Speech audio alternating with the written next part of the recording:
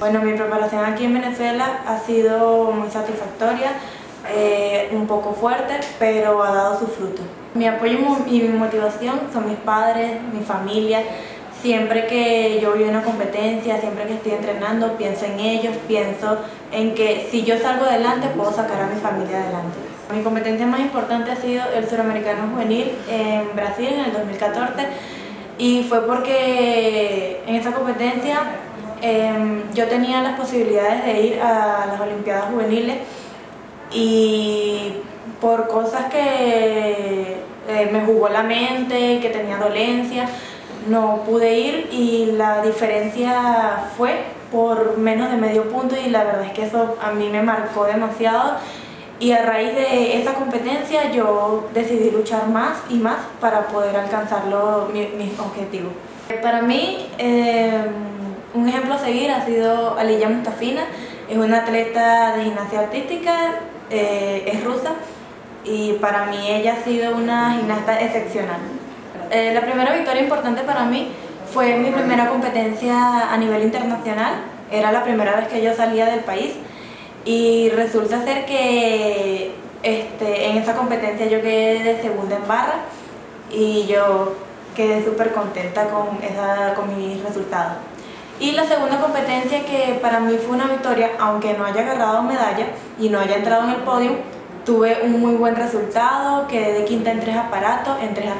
tres, a tres finales y en general quedé en un, en un muy buen puesto. La gimnasia artística es un deporte muy hermoso, un deporte maravilloso, que sí muchas veces uno siente que no puede seguir más, que el cuerpo no le da, que tuve una lesión, que no puedo seguir. Pero si uno se pone a pensar, uno se da cuenta de todo el trabajo que uno ha hecho y que ese trabajo ha tenido su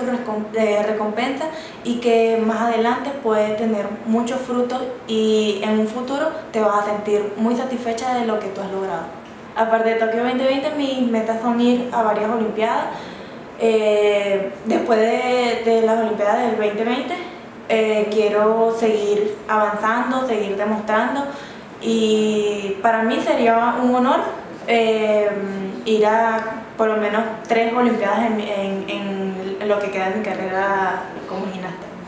Todo viene del trabajo que uno, que uno hace.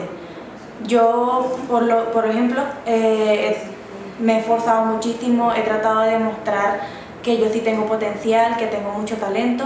y bueno, eh, tanto sufrimiento, tantas caídas, tantas luchas eh,